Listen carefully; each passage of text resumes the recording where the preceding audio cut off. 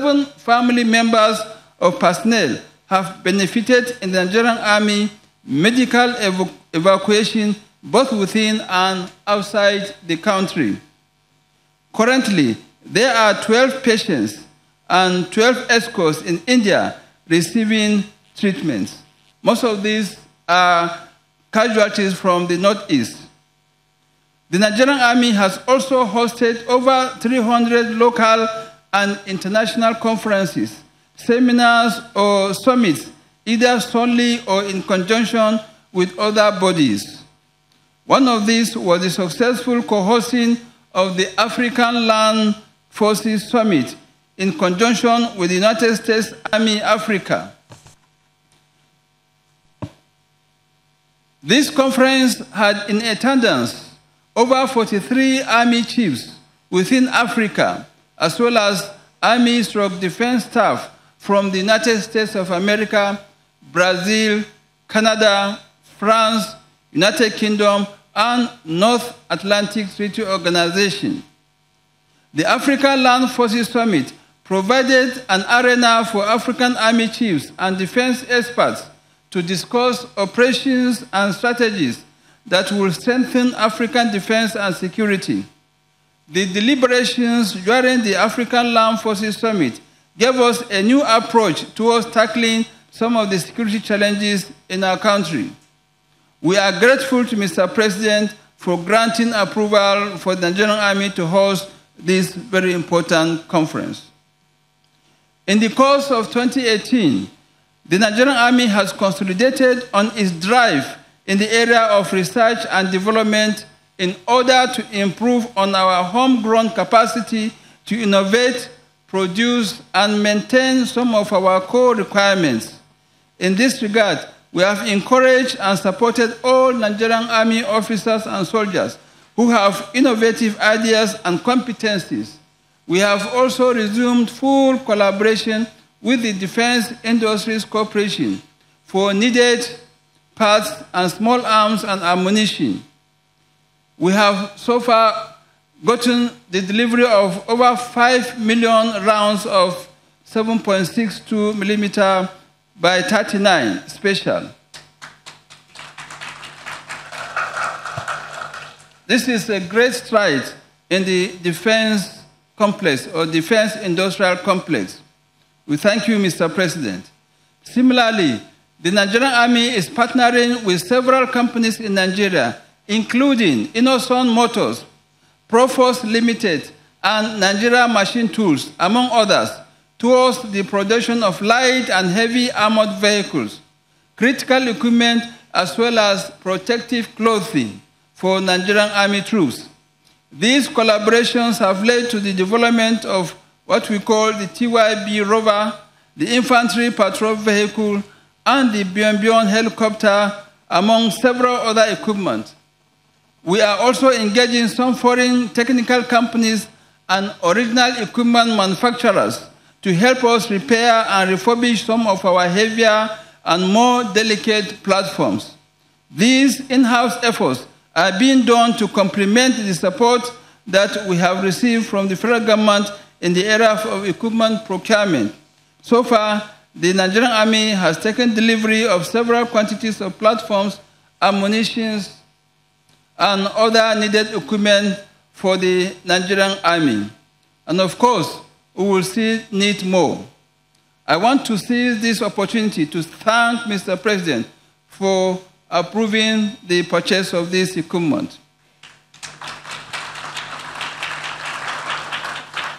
The year 2018 has been eventful, and my address will not be complete without mentioning some of the new developments that have taken place within the year. The Nigerian Army established the Nigerian Army Women Corps to develop female officers and soldiers that can be employed to optimize their capabilities. The Nigerian Army University Bill has been approved, established, and has commenced its academic programs. The Nigerian Army Vehicle Manufacturing Company was also established to support our strides in vehicle manufacturing. The Nigerian Army has also commenced direct training for personnel to acquire sufficient knowledge and communication skills in the three major Nigerian languages to better fit in anywhere they may be deployed. The Nigerian Army has also established the first ever cyber command. The command will effectively tackle the fake news against Nigerian Army and the country, and also secure our cyber domain from hostile elements. In spite of our very many successes, the Nigerian Army is not without its challenges and setbacks. Despite the recent setback in Metele, our successes still manifest from our operations in the central parts of the country up to the northern fringes of Borno State. You will notice that 157 Battalion located in Metele, which was recently dislodged, unfortunately, with some casualties. This unit is equally part of the multinational joint task force. And all efforts are being made by the multinational joint task force efforts to ensure the complete welfare of the casualties as well as its effective operationalization. The presentation that will be made in a few minutes will bring out graphically our successes. Some, some of the Nigerian Army challenges are related to insinuations of human rights abuses, which have tended to dent our image in the eyes of the general public and the international community. It is necessary to reiterate the Nigerian Army stance as professionals that we are guided by the extant rules of safeguarding human rights human security, and human dignity under the concept of the responsibility to protect. To this end, we have established human rights desk offices in all Nigerian army formations for speedy attention to human rights allegations. Furthermore, just last week, the Nigerian Army Law Seminar was held by the Directorate of Legal Services Army with the theme, The Place of the Law in Counterterrorism and Counterinsurgency Operations in Nigeria. The major objective of the law seminar was to improve on the existing synergy between the Nigerian Army Legal Services and the Nigerian judiciary, bringing to fore a better understand, understanding and appreciation of the specialist and technical nature of military operations vis-à-vis -vis the law to our civilian legal professionals in the judiciary.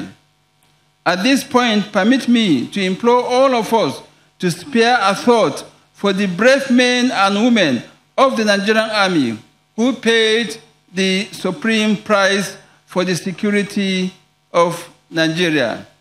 We must also continue to support the families of these brave officers and soldiers and pray that their souls rest in perfect peace.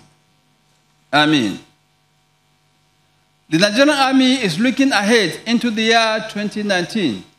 We envisage in our projections the planning and conduct of exercises and operations in various parts of the country, similar to the ones conducted throughout this year. Training shall be vigorously pursued at all levels as our professional calling of duty demands. The exercises and operations embarked upon this year, 2018, were geared towards creating a peaceful and stable environment for the upcoming 2019 general elections. I wish to state that my projections for the Nigerian Army in the coming year are expected to surpass the achievements of this year, 2018. The areas observed with lapses will be improved upon, and I charge all participants of this esteemed conference to please make meaningful contributions that will be added to our overall projections for the year 2019.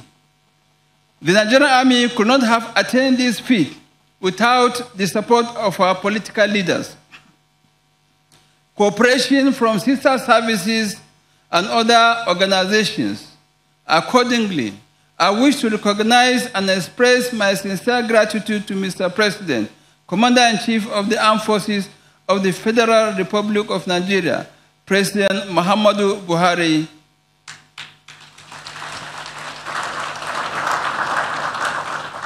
I want to also appreciate my honorable minister, the Minister of Defense, and indeed other ministers, the Chief of Defense Staff, and my colleagues, service chiefs, serving and retired as well as heads of other security agencies and the media. I cannot also thank members of National Assembly enough, especially our committees on army and defense and defense in both chambers. We sincerely thank you for all your oversight functions.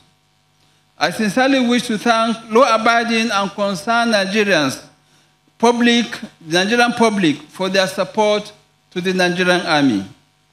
My sincere and esteemed appreciation goes to His Excellency, the Executive Governor, the government, and the good people of Borno State for hosting the Nigerian Army to this conference, as well as supporting the Nigerian Army in its endeavors. I want to join you, Your Excellency, to continue to partner with the Nigerian Army and encourage law-abiding citizens to have confidence in the nation's security agencies. May I also thank the governors here represented for finding time to honor our invitation. For esteemed royal fathers, we sincerely appreciate you all for your fatherly guidance and for being highly responsible custodians of the people's culture and traditions. The Nigerian Army will continue to respect the traditional institutions towards effective civil-military relations. Finally, it is, it is with a high sense of responsibility and respect that I humbly express the Nigerian Army's profound gratitude once again to the President, Commander-in-Chief of the Armed Forces of the Federal Republic of Nigeria, President Muhammadu Buhari, for his invaluable support to the Nigerian Armed Forces in general and to the Nigerian Army in particular. On behalf of officers and soldiers of the Nigerian Army, I once more pledge our total commitment to the defense of the Constitution of the Federal Republic of Nigeria, and indeed our unflinching loyalty. I wish to respectfully reassure Mr. President, Commander-in-Chief, that we will remain resolute and commitment and committed to the defense of the democratic governance of Nigeria.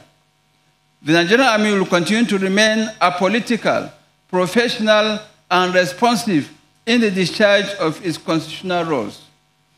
On the final note, I want to once again welcome you all to the Chief of Army Staff's Annual Conference 2018. Thank you and God bless.